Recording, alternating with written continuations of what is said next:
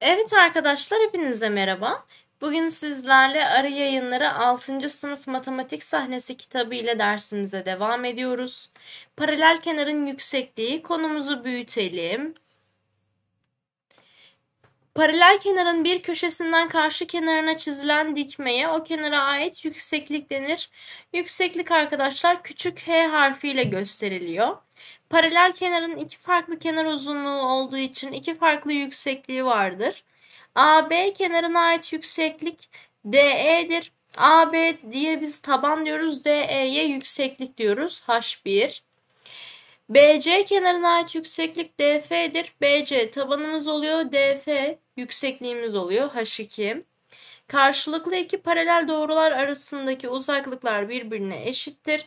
Yani arkadaşlar yükseklikler eşittir.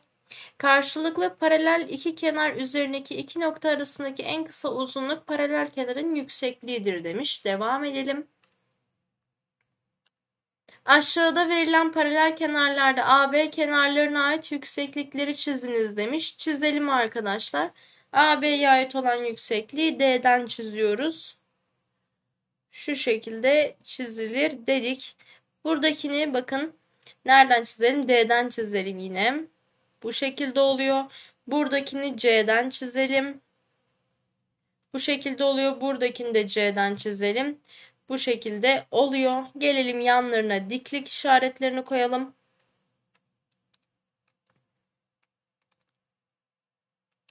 Dedik devam edelim. Aşağıdaki kareli zeminde verilen paralel kenarların AB kenarlarına ait yükseklikleri çizerek uzunluğunu bulunuz demiş arkadaşlar. Bulalım. AB'ye bakın buradan C'den indireceğiz. C'den indirdiğimiz zaman bu yüksekliğin uzunluğunun 4 birim olduğunu bulduk. Yine burada AB'ye ait çizeceğiz. C'den çekiyorum arkadaşlar yüksekliği. Yüksekliği çizdiğim zaman yüksekliğin 3 birim olduğunu buldum. Buraya geldik. Yine AB'ye ait bir yükseklik. D'den çizeceğim.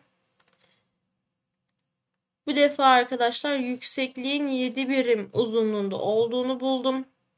Devam edelim. AB D'den çizeceğiz arkadaşlar. Ve de saydığımızda yükseklik 6 birim olarak geliyor. Buradaki AB'ye ait olan yüksekliği D köşesinden çizeceğiz. Burayı saydığımızda 5 birim olarak geliyor. Son olarak 6. şıkkımıza geçelim. Buradaki AB'ye olan AB'nin yüksekliğini C köşesinden çizdik ve de saydığımızda yüksekliğin uzunluğunu 8 birim olarak buldum. Aşağıdaki soruları cevaplayınız. Yukarıdaki kareli zeminde verilen ABCD paralel kenarında DC kenarına ait yükseklik 20 cm olduğuna göre KLMN paralel kenarında ML kenarına ait yükseklik ne kadardır demiş. Arkadaşlar şimdi şöyle söyleyelim. DC kenarına ait olan yüksekliği bir çizdik. Burası arkadaşlar 4 birim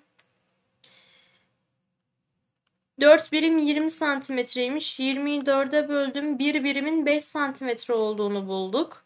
KLMN paralel kenarında ML kenarına ait olan yüksekliği çizelim. Burası da 9 birimdir. 1 birim 5 birim ise 9 birim 45 santimetredir dedik.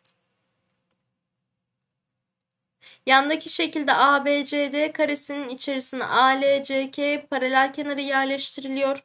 Karenin çevre uzunluğu 148 santimetre olduğuna göre AL kenarına ait yükseklik. Ne yapıyoruz? 148'i arkadaşlar 4'e bölüyoruz. 37 santimetre oldu. Yani bakın paralel kenarın yüksekliği de 37 santimetre olur.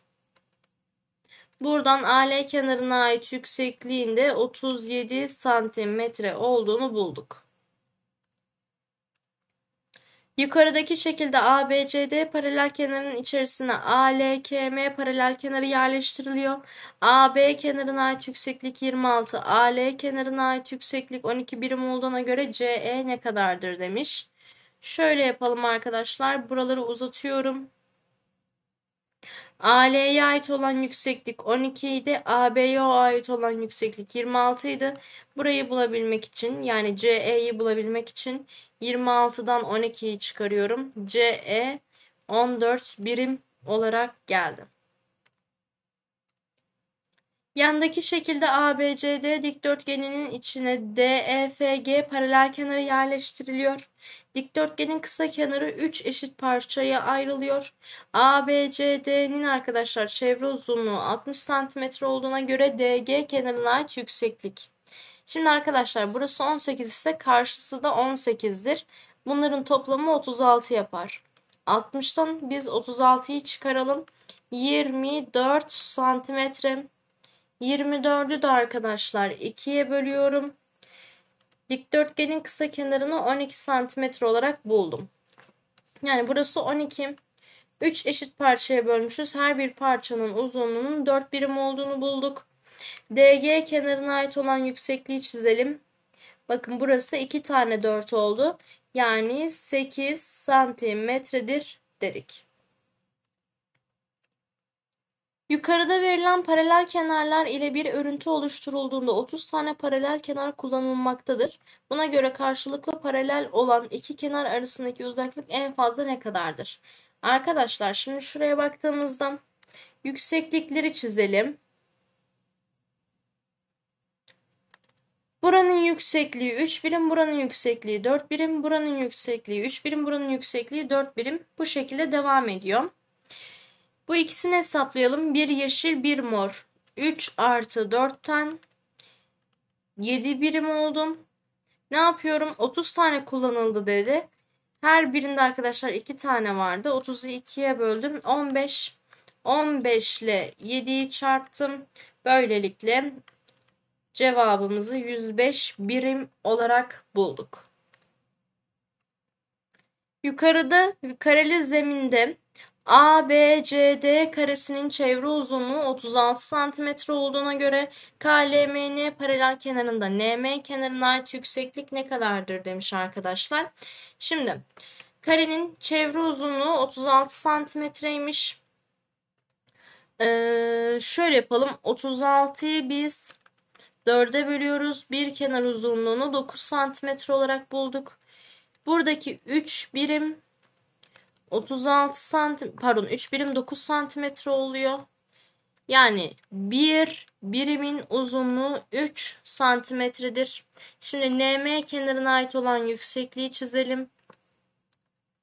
Burası da arkadaşlar 7 birim.